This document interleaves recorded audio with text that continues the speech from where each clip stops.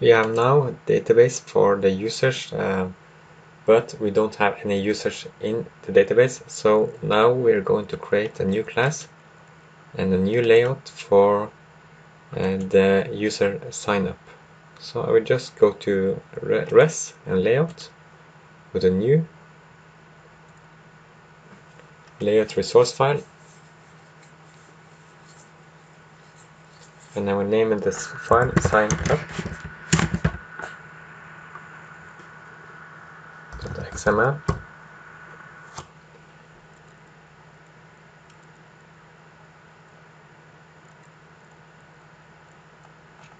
and then just OK.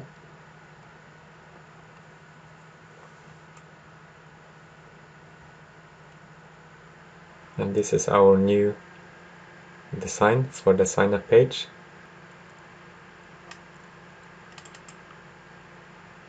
So if we go to activity main, this is our main XML file. And we can go to text here, and we will see that there is a text view uh, up. It says render problem. So we can just go to text and just normally edit the text there. And then write diet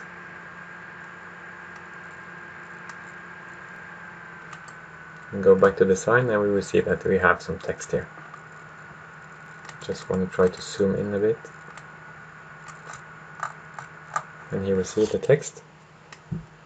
So if you just press the text, you can see that you get different types of uh, uh, properties on the right side.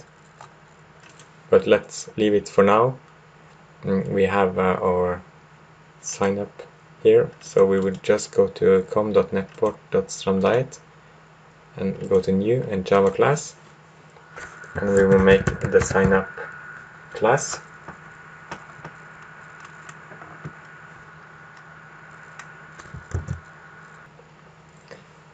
So we have created the sign up class now. And we go to main activity. And here we can see that uh, the main activity extends a compact activity and we have an onCreate method that says that we will have this uh, view. So I want to have the same for the sign up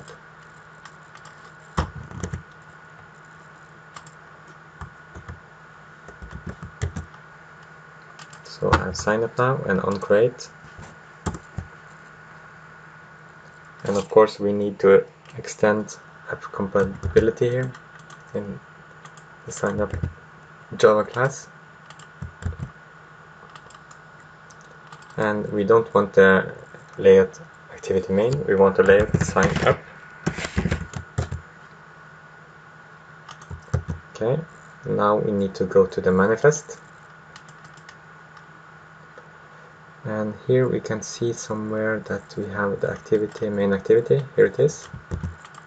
So we need also to add the activity sign up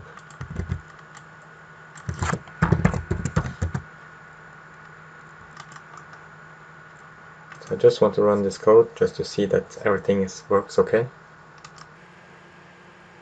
And it says hello world, okay, so that's good.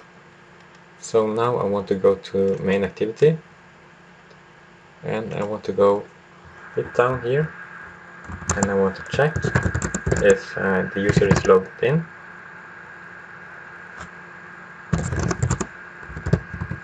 Or if check if there is user in the user table.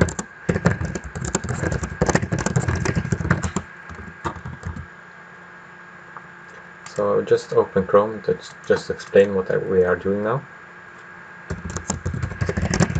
So I want to count rows in user table. So if we go to my project here and click on inspect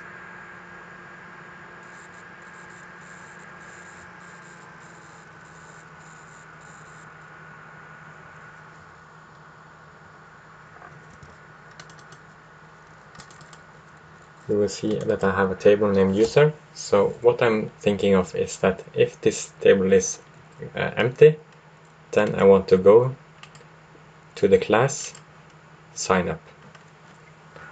So number of rows equals db count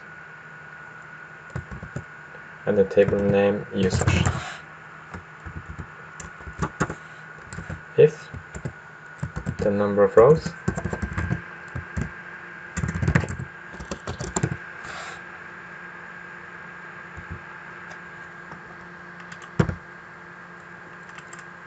is less than 1, then we need to go to the new activity. So the method for going to the new activity is to create an intent. So an intent i equals new intent and the main activity and we want to go to sign up.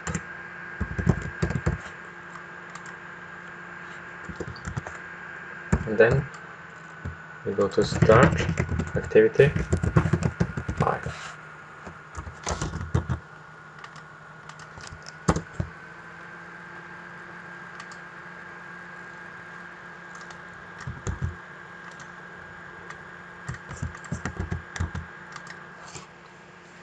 with the lower s not capital S.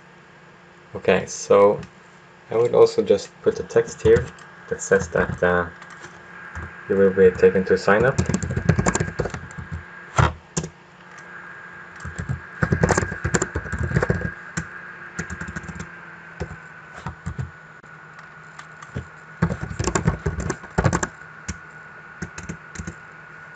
So it can say something like you are only few away from signing up.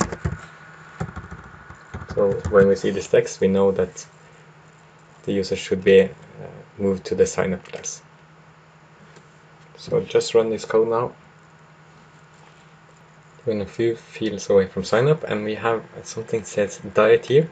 So we know we are now in this design called sign up and we are in this class, the sign up class. So that is very, very good. Now I'm going to put some fields inside here and uh, a logo maybe and a couple of buttons.